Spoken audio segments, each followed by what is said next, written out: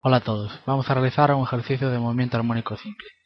Dice un oscilador armónico lleva una velocidad de v1 igual a 2 centímetros partido por segundo, cuando su elongación es igual a 6 centímetros. Bien, nos dice que también y una velocidad v2 de 1,5 centímetros partido por segundo, cuando su elongación x2 es igual a 8 centímetros.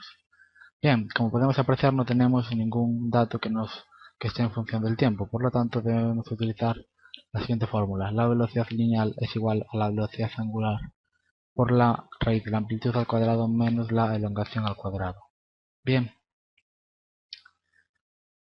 entonces vamos a sustituir los valores que nos han dado. Tenemos que v1 es igual a, omega por la raíz de a cuadrado menos x1 al cuadrado. Y a su vez tenemos que v2 es igual a omega por la raíz cuadrada de a cuadrado menos x2 al cuadrado. Entonces vamos a sustituir, los valores. Pasamos todo a metros, entonces nos queda que 0,02 es igual a omega por la raíz de a cuadrado menos 0,06 al cuadrado.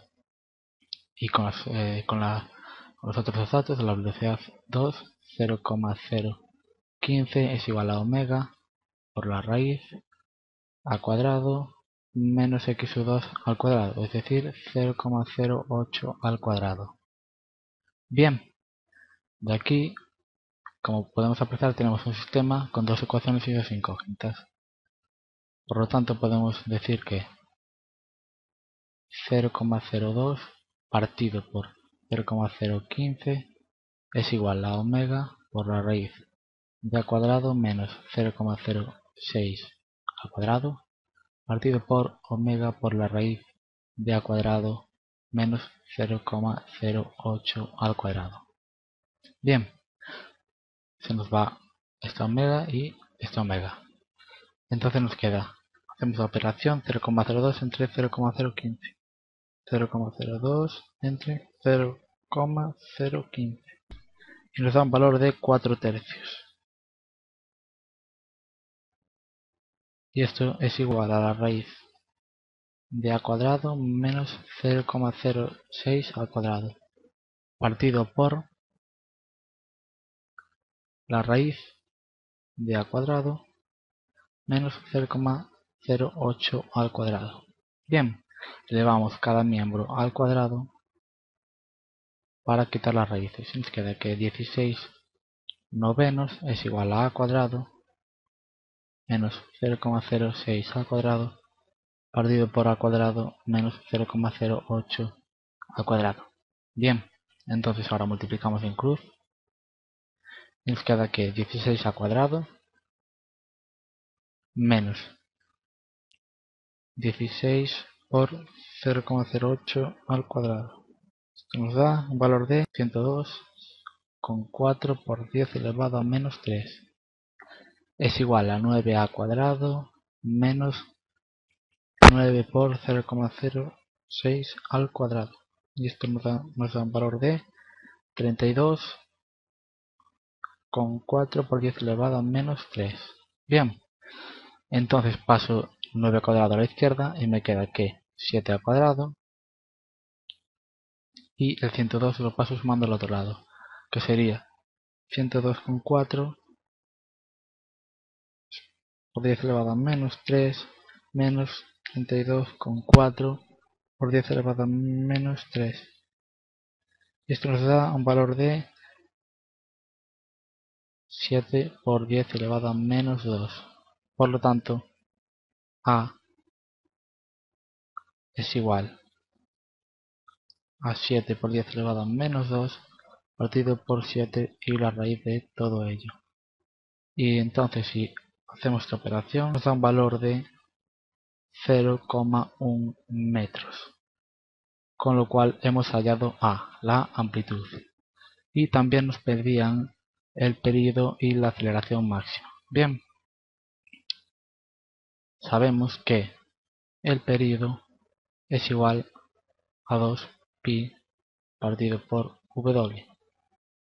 Y entonces tenemos aquí, por ejemplo, eh, una ecuación que era 0,02 0,02 es igual a omega por la raíz de a cuadrado menos 0,06 al cuadrado. Aquí hemos hallado el valor de a, por lo tanto sustituimos en esta ecuación y obtendremos el valor de omega. Entonces omega es igual a 0,02 partido por la raíz de 0,1 al cuadrado menos 0,06 al cuadrado. Y si hacemos esta operación, omega nos da un valor de un cuarto de radianes por segundo. Por lo tanto, omega es igual a un cuarto de radianes por segundo. Partido por segundo. Bien, ya tenemos la amplitud y ahora gracias a la velocidad angular vamos a hallar el periodo. El periodo, como hemos dicho antes, será 2 pi partido por omega. Por lo tanto, el periodo es igual a 2 pi partido por un cuarto. Por lo tanto, el periodo es igual a 8 pi segundos. Podéis dejar en función de pi o multiplicarlo, como veáis. Entonces ya hemos logrado obtener el periodo y la amplitud. Bien, nos queda la aceleración máxima. Y sabemos cuando la aceleración es máxima, eh, la elongación es igual a la amplitud. Por lo tanto, la aceleración máxima es igual a omega cuadrado por a. Entonces, la aceleración máxima es igual a 1 partido por 4 al cuadrado por 0,1. Entonces la aceleración máxima es igual a 1 partido por 16 por 1 partido por 10, con lo que la aceleración máxima es igual a 1 partido por 160 metros partido por segundo al cuadrado. O también la aceleración máxima es igual a 6,25 por 10 elevado a menos 3 metros partido por segundo al cuadrado. Bien. Y como podéis observar, ya hemos obtenido todo lo que nos pedía, la amplitud, amplitud, el periodo y la aceleración. Amplitud, el periodo y la aceleración.